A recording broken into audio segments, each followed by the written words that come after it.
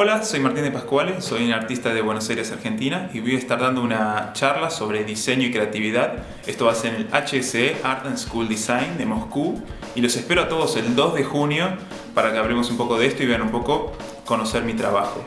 Eh, muchas gracias y los espero.